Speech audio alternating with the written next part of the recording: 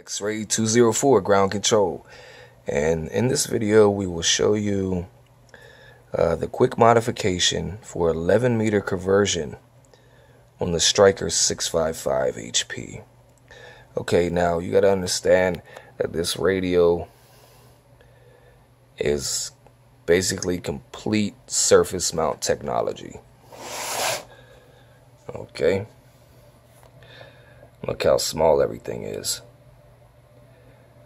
now for this conversion, you're just going to need two things, all right? A solder gun and a nice fine tip on your solder gun.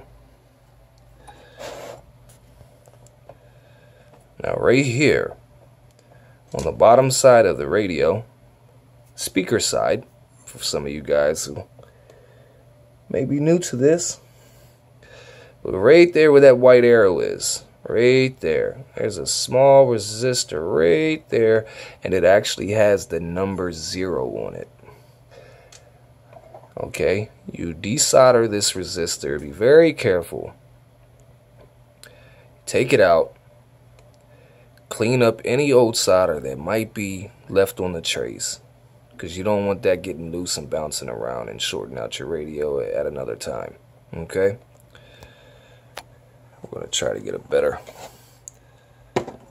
better look here. Okay, see, here's one of your processors. So, right in this area, just open your rig up and look, and you will see. There you go. It has a zero on it, right there.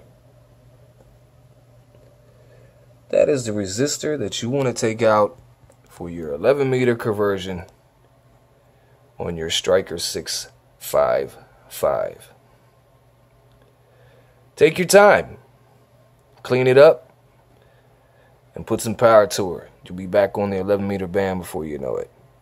It's definitely a DIY, do it yourself, no doubt about it.